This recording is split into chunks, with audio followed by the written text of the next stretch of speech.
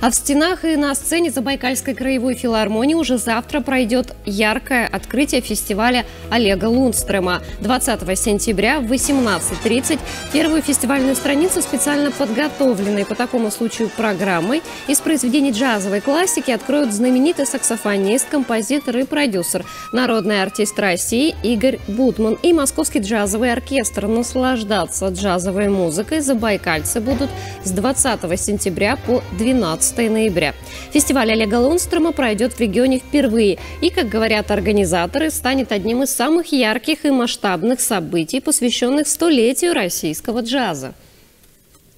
И это яркое и масштабное событие мы обсудим с пресс-секретарем Забайкальской краевой филармонии имени Олега Лунстрема Андреем Носенко. Доброе, Доброе утро. Доброе утро. Ну, рада приветствовать тебя, Андрей, в нашей студии. Встречаемся уже не впервые. Каждый раз говорим о том, что э, есть какие-то такие важные у нас темы для разговора. Э, говорим про фестиваль сегодня. Ждать ли еще каких-то э, сюрпризов на открытии? Ну, мне кажется, прежде всего сам фестиваль является ярким сюрпризом да, для забайкальцев, потому что это очень крутое заряженное такое событие. На открытии у нас, как вы уже сказали, будет концерт Московского джазового оркестра под управлением народного артиста России Игоря Бутмана. Это талантливые музыканты, это специально подготовленная программа из классики джаза. Это яркое мероприятие, поэтому советую прийти, ознакомиться, посмотреть. Этим надо обязательно приглашением воспользоваться. Но вот вопрос, а фестиваль же пройдет э, впервые, как я понимаю. Не было ли вообще таких вот раньше масштабных событий, вот подобного уровня, ну, именно вот с джазом связанных? Ну вот если вообще взять до масштабные события, они у нас в филармонии проходят постоянно, взять ну, хотя да. бы фестиваль «Цветущий багульник», да, наш международный. А что касается джаза, мы каждый год проводим фестиваль «Чита джаз». Если помните, в прошлом году у нас был, было пять э, ярких концертов, были крутые промо-акции по всему городу, то есть в торговых центрах наши коллективы выступали. Но касаемо вот именно масштаба джаза, да, такое впервые, потому что этот фестиваль охватывает сразу джаз, театр и классику.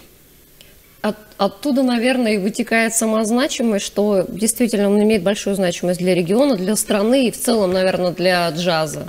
Да, даже можно сказать так, что сейчас, то есть он настолько значимый, что мы ставим Забайкальский край да, на карту российского джаза и, наверное, даже не побоюсь мирового, потому что звезды такого масштаба, как Игорь Бутман, да, джазовый оркестр Олега Лунстрома, который в книге рекордов Гиннесса находится. Мы сейчас вот ставим как раз джаз, Забайка... Э, Забайкальский край ставим на карту российского джаза. Это очень масштабно и значимо. Кто участники, много ли да, их, да, да, да, да? То есть, э, вот если еще говорить о звездах. Участников, да, очень много на самом деле.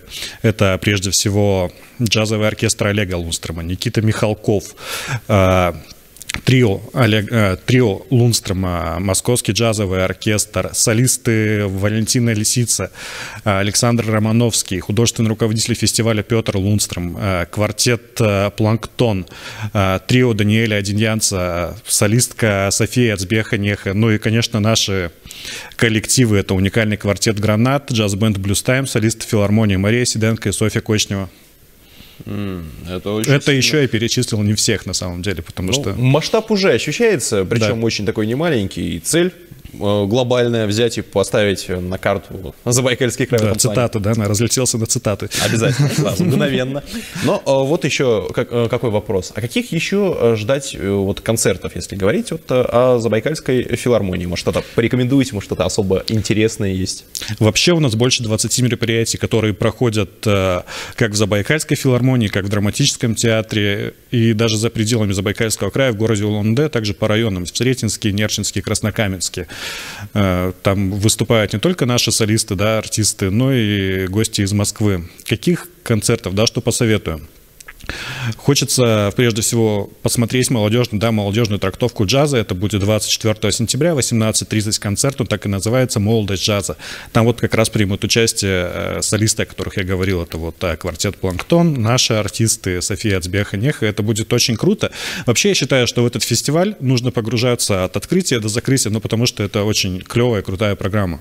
Но там достаточно дней для того, чтобы вот в полной мере оценить все прелести джаза. А, если говорить о билетах, вот сейчас э, наши телезрители, кто заинтересовался, где можно приобрести эти билеты и можно ли по пушкинской карте? Да, специально для фестиваля мы подготовили такую уникальную мультисылку, перейдя по которой можно посмотреть все концерты, прямо выбрать, почитать и выбрать, который уже симпатизирует.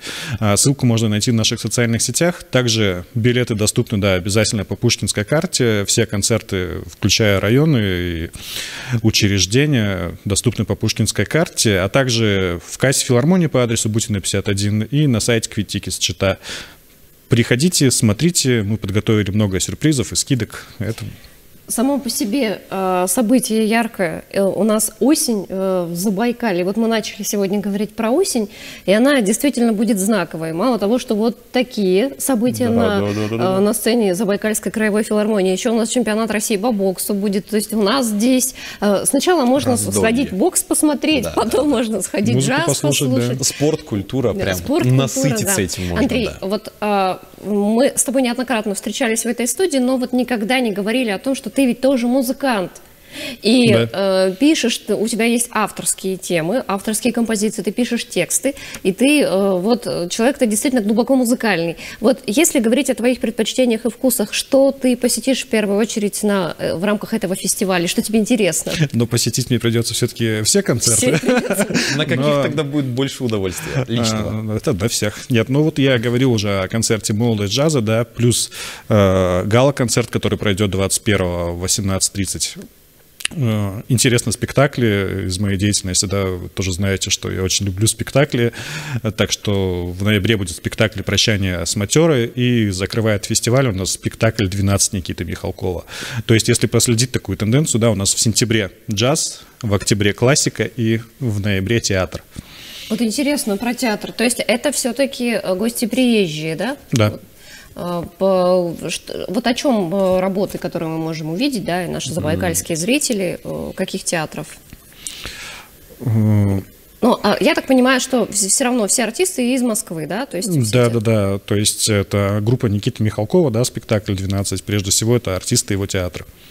Где можно подробно ознакомиться со всей программой? Вот есть где-то в интернет э, ресурсах, да, угу. вот как бы афиша, расписание, вот все, все это можно изучить, может быть, на вашем сайте, насколько Да, на сайте Запкультура, это сайт Забайкальской филармонии, также на портале Квитикет, где как раз приобретаются билеты, там есть полное описание, ну и, конечно же, в наших социальных сетях э, просто просто везде. То есть э, сейчас наша работа направлена прежде всего на популяризацию фестиваля и вот если говорить э, о том, о деятельности Забайкальской краевой филармонии имени Олега Лунстрома, для вас и весна была очень такой вот продуктивной, и лето было очень насыщенным, и осень сейчас вот такая концертная.